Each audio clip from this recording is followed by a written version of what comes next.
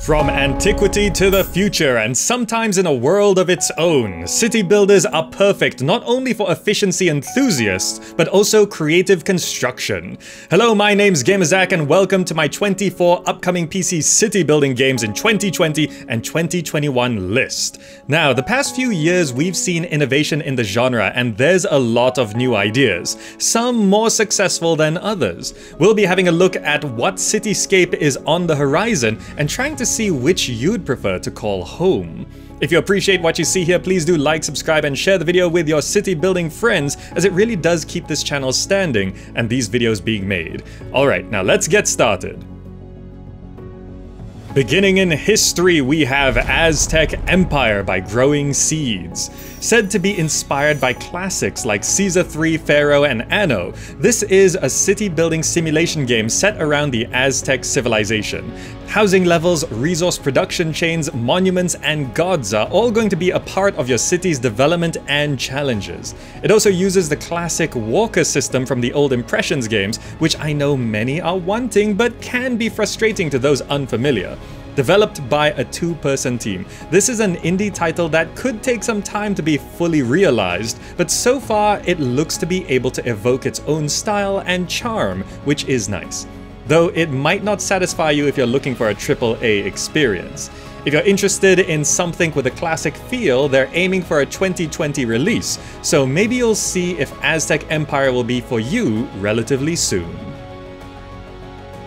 Speaking of Caesar, it's Romans Age of Caesar by Firefly Studios. From the creators of Stronghold, this one has Caesar 2 vibes and is meant to be a kind of spiritual successor to the old Impressions series. The difference, though, is that this is a multiplayer MMO grand strategy cooperative city builder. Starting out, you'll be trading, building, and fighting barbarians with other players as you manage your own district in a city. Meanwhile, there's a political layer where you can use diplomacy or force to rise to the top of the Senate.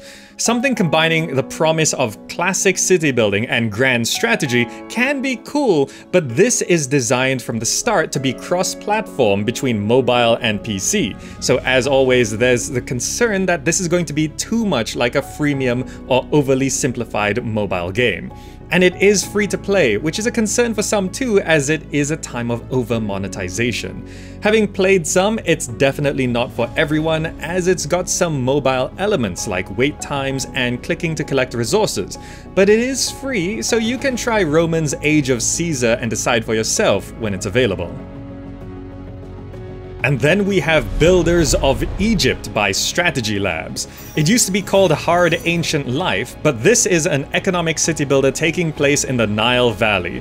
This is clearly inspired by the old Pharaoh game, but it's trying to modernize it a bit. Starting in the Proto-Dynastic period, you'll be able to play through the birth of the Old Kingdom up until the death of Cleopatra. Diplomacy, politics, and choices are part of the gameplay in terms of trading partners and the obedience of other rulers. So trade and militaristic war can't be ignored. There's also religion and monuments, which of course there are in an ancient Egypt city building game. Gameplay footage so far looks a little rough, but it has been significantly improved over the last year. The most recent trailer convincing many to start watching the development of this one. No fixed release date yet, but if you like what you see, you might want to keep an eye on Builders of Egypt. For something a little bit older in more ways than one, it's Ancient Cities by Uncasual Games. Set through the Neolithic revolution of ancient humans, you start as a nomadic tribe and build up to be a fantastic settled city in antiquity. Gather resources, discover technologies, build wonders, and survive the elements and your enemies. There's a lot of simulation going on here in terms of nature, including seed spread from trees and animal migrations. Your citizens are individually simulated too, and there will be social structures like politics, religion, and family. This is one that a lot of people like, and we've been watching it for a while, since it got funded on Kickstarter back in 2017. Originally intending to release in 2018, they pushed it back to 2019, and it looks like it's going to be pushed back again. Knowing that, we're not going to be able to guess when the release date is actually going to be, so we'll just have to wait and see if they can finish Ancient Cities over the next year or so. Staying in the Neolithic age, it's Neolithic by Alex T. Harvey. Inspired by Age of Empires, Civilization, and Caesar 3, this is a combination of city building and strategy where you develop an ancient civilization through the Neolithic to late Bronze Age, building from village to city, surviving the world and dominating the land. Your villagers have needs, they gain skills, and they'll inherit traits as they craft, build, and organize. It was kickstarted back in 2017 and was meant to become playable by now, but as a solo developer, things can only go so fast. Going through more testing phases towards the end of 2019, we could expect an early access release on Steam sometime in 2020, but indie developments could always face delays as usual. So hopefully it's not too much longer before we can play Neolithic. Next up we've got Foundation by Polymorph Games. A game that's been in early access for a while, this has actually taken great strides over the last year in terms of development. It's a gridless medieval city builder where you can have modular construction, allowing you to design as big or small as you like, and it has gameplay effects, which is pretty cool because you could build a small chapel to a monumental cathedral using the same tools. Resource management is inspired by Anno, and city building takes notes from other classics such as The Settlers, Pharaoh, and SimCity to create a complex ant farm-like simulation. Although it originally released rough and very unfinished, the game was fun and engaging even back then, and now it's added a lot more gameplay, graphical improvements, along with things like weather and working towards military. The original early access period for Foundation on Steam is meant to end in 2020 for a full release, so hopefully things work out and we can get a complete experience over the next year.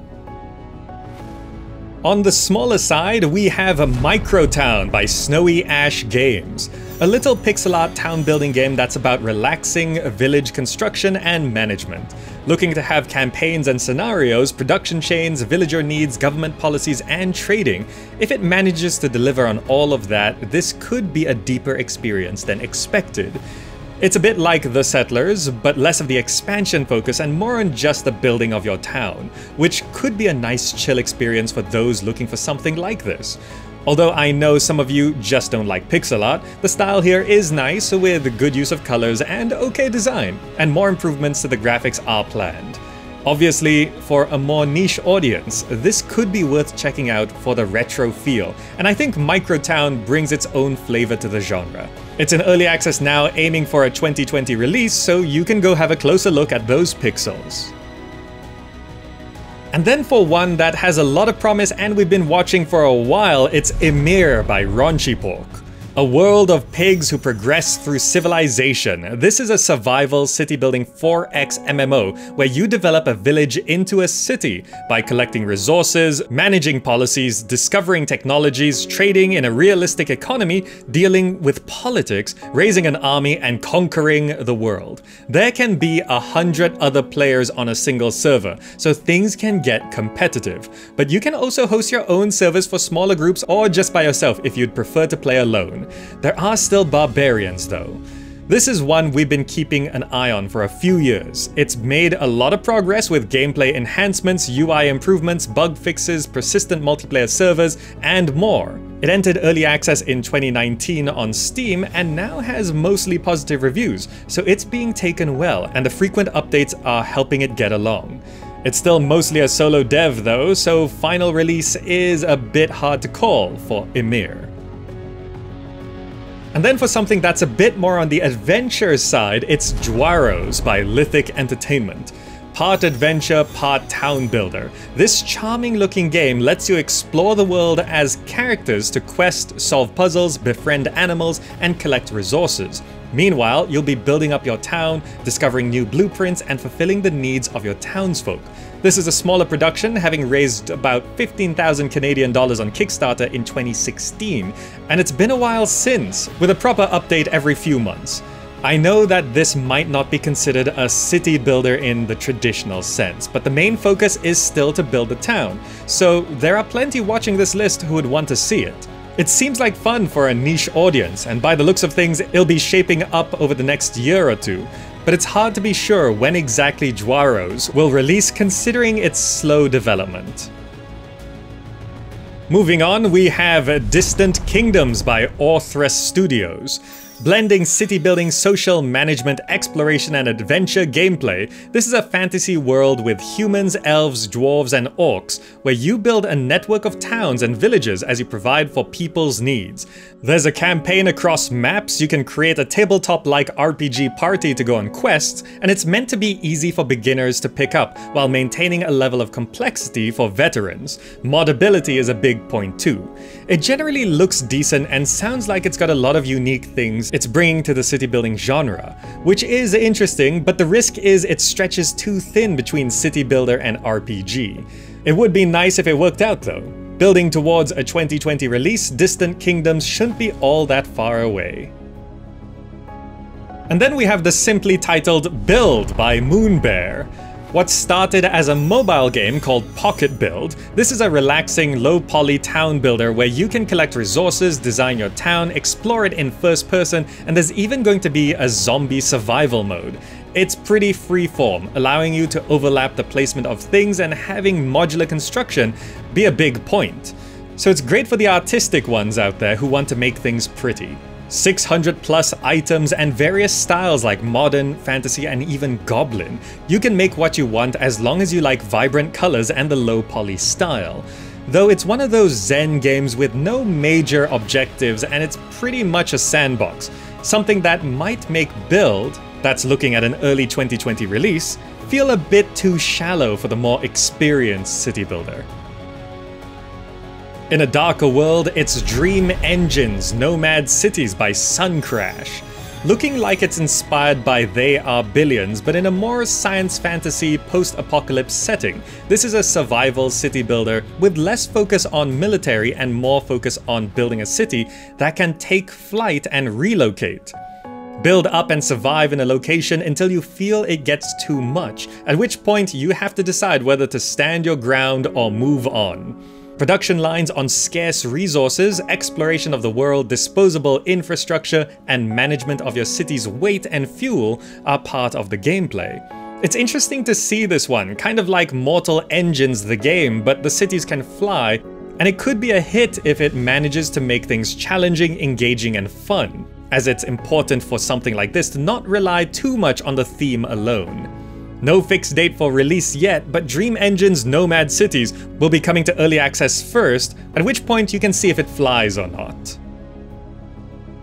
Speaking of floating cities, there's Airborne Kingdom by The Wandering Band. A fantastical journey flying above the desert where you build your domain. Build housing, gather food, satisfy needs, and grow your tribe as you maintain lift, discover resources, and explore the desert for lost technologies. Production chains, trading, and multiple playstyles are also promised. It looks pretty good so far, but full gameplay is still a little unclear. But if it's done well, it could appeal to at least a strong niche audience, as I know not everyone likes these kind of thematic city builders. This could build up to something unique, but it could also lack the power to lift itself to new heights. We'll have to wait until more development clears the air on whether Airborne Kingdom will be able to stay afloat as it flies to release. Was that too many?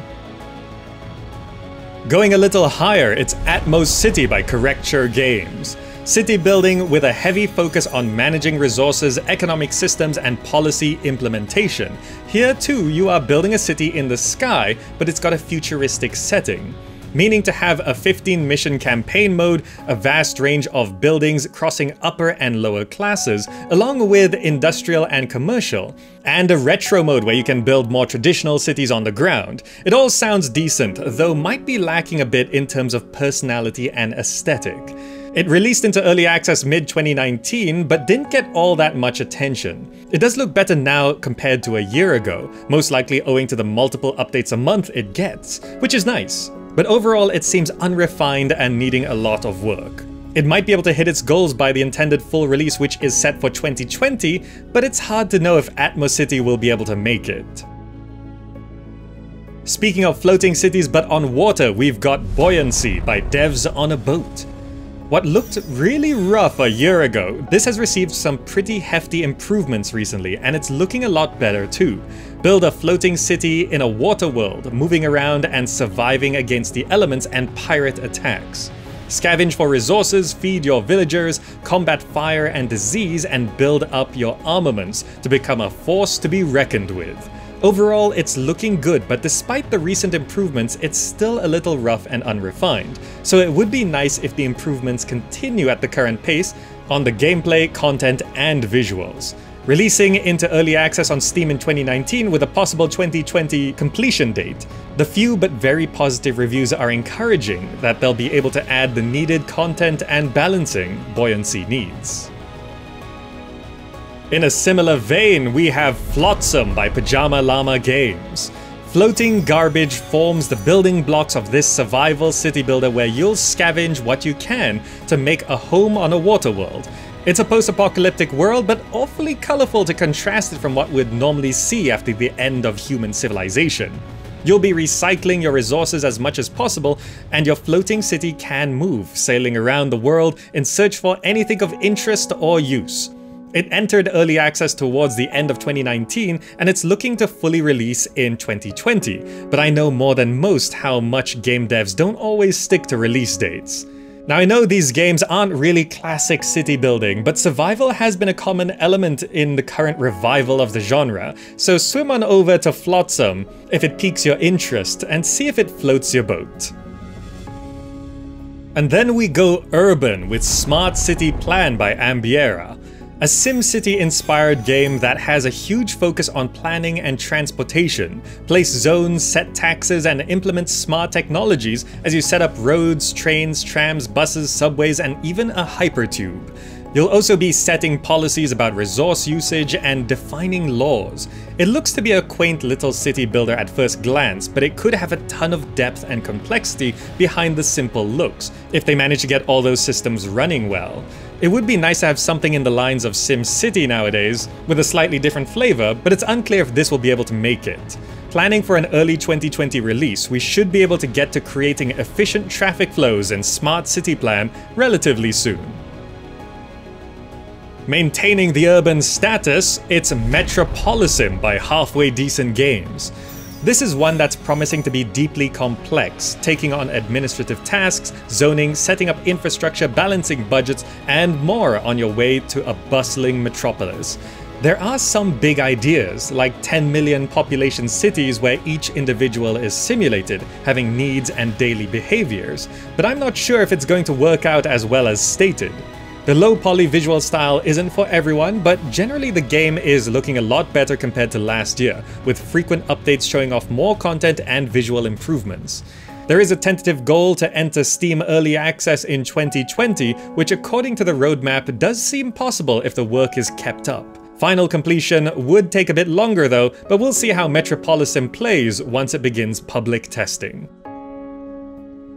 Staying somewhat modern, but a little bit different. It's Workers and Resources Soviet Republic by 3 Division a Soviet-themed city builder tycoon game, construct a republic and turn a poor nation into an industrial superpower by managing resources, creating industrial complexes, building infrastructure, and ordering your citizens around. Having a 60s to 90s era aesthetic, along with economic simulations that will prove to be a challenge adapting to, this looks like a fresh take on city building that could provide a new flavor to the genre. Receiving a very positive reception on Steam, early access is meant to end in 2020 or 2021 latest, which is achievable if they manage to keep up the frequency of updates. If you're waiting for a full experience, check back with Workers and Resources Soviet Republic in a year and see how it's doing. Bringing back the end of the world, it's Atomic Society by Far Road Games. Build a town and survive in a nuclear wasteland in what's kind of like a Fallout city builder. You decide on the laws and policies of your town as you try to grow it into what sometimes can seem like an ethical nightmare. When I played it, it felt a little bare bones in terms of content and maybe lacking somewhat in personality, but generally gameplay was still solid. It just needs more time to add more stuff, really. But if they keep adding things, then this could flesh out to be something pretty captivating. It's been in early access since late 2018, and after a year it has mostly positive reviews on Steam, though it has to be said that the goal was to finish within 12 months and they still haven't. Maybe they'll be able to pick up the pace and we get a full release of Atomic Society in 2020. In a very similar style, we have Surviving the Aftermath by Iceflake Studios. Paradox is building on the success of Surviving Mars, and this is kind of a sequel that brings your city slash colony base building survival to the new setting of the end of the world. Build your ultimate disaster-proof colony, keep your people alive, and restore civilization to a ruined world. There will be multiple biomes with various resources, bandits, and natural disasters to survive, where you'll be training specialists, exploring the wastes, and adapting to changing situations. There's also a plan to have mods, so players could change things up further down the line. It is, however, doing an Epic Store early access, which, come on, it's just a timed exclusive really, which could be something that puts you off. Either way, this apocalypse is due late 2020, when we should be able to experience surviving the aftermath more readily. Considering the apocalypse might mean we have to leave the planet, it's Seed by Klang Games. Revealed a couple years ago, this is a game that's a little hard to pin down in terms of exactly what it is. Conceptually, it sounds amazing, an MMO city builder where you collaborate with other players to explore, harvest resources, and settle new lands on an exoplanet that has biomes, seasons, weather, and a simulated ecology. Your citizens, or seeds, are individually simulated and form relationships and hierarchies, along with needs and wants. Development looks really active, with numerous Q&As and dev updates happening frequently and regularly, but not much actual gameplay has been shown off recently. A pre-alpha should be on the way soon, so hopefully we'll be able to see more clearly what Seed actually is in 2020. Staying up on other planets, we have Before We Leave by Balancing Monkey Games. Welcome to your own little cozy corner of the universe. Starting from scratch, you build your way up to rockets and colonize multiple planets, connecting an interplanetary network of resources in this economic city builder. It specifically says non-violent, so there won't be any military or conquering when it comes to taking over other planets. However, there are ancient guardians and disasters that will challenge your expansion. This will be going through a closed alpha first, and then we could expect a beta or early access of some sorts. It seems like it'll be a chill and relaxed experience, which isn't for everyone, but if you like the feel, then head on over to Before We Leave for a closer look. And finally, we've got Industries of Titan by Brace Yourself Games. If you haven't heard of this one, you might be surprised that this is from the same developers of Crypt of the Necrodancer, though once you hear the amazing music, it might make more sense. Again, mixing genres, this is kind of a cross between a city builder and FTL-style ship-to-ship combat as you vie for power and control of the resources and economics of Saturn's moon, Titan. You'll be building sprawling cities, setting up production lines, developing technologies, designing battleships, and pulling strings with your influence. Combat will be real-time with pause, too. There's a lot more to this than just city building, which could be a fresh change of pace, but might also not satisfy you if you're looking to focus on the building of a city. Planning to release an early access on the Epic Games Store in 2019, and for a full release including Steam in 2020, this is doing that Epic Games Store exclusivity thing. So you'll have to decide whether you want to get into Industries of Titan early or not.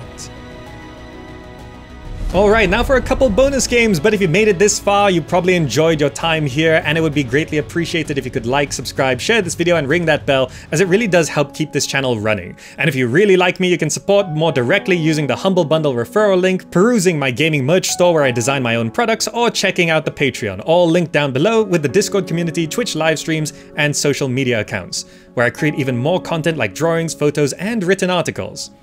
And I just want to mention a couple bonus games here because the developments seem a little bit far off. First of all, there's Ostriv, which I've listed a few times before and it's been in development since 2014, so there's no telling when it'll release. And there's Citybound, which is more of a tech demo right now, but it has a lot of potential with the systems it's building, so I'm excited to see how that develops over the years. And that's 24 plus upcoming city builders that should be releasing through 2020 and some into 2021 depending on their development. Which ones are you most interested in? Also, here's something I'd like to know. What old city building game would you like to have come back? As a sequel, remaster, or a spiritual successor? I'd love to know. Personally, I want a Caesar 3 remake that modernizes it and maybe add in that province map from Caesar 2. Speaking of, if you'd like to see more city building content, check out my Impressions Games playthroughs from Caesar to Emperor, and plenty more city building and strategy content right here on the channel, or drop by the other upcoming games list for many more games. Alright, that's all for now, thank you so much for watching, hope you enjoyed it and found it useful, and I'll see you in the next video.